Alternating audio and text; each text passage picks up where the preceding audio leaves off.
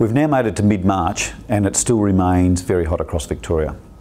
One of the most important things now is to focus on Tuesday and Wednesday where the weather conditions will see um, very strong winds not only during the day but also during the evening and night hours.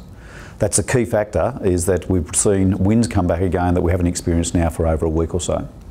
The heat remains um, but we look forward to a southerly change on Wednesday which will see cooler conditions um, for the remaining part of the week milder but still very dry. There's only a chance of showers across Victoria and uh, those showers will have limited impact on, on the fuels around. We'll still see it dry into the weekend.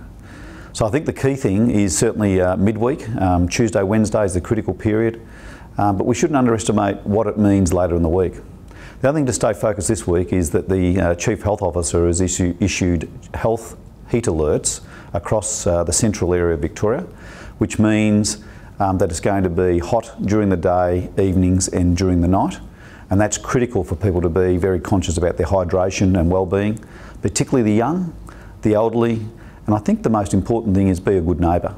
Think about the neighbours, um, think about how you might help them, um, but be that good neighbour is something that uh, is important this week and one of the key takeaways um, for us to be a very safe community in Victoria.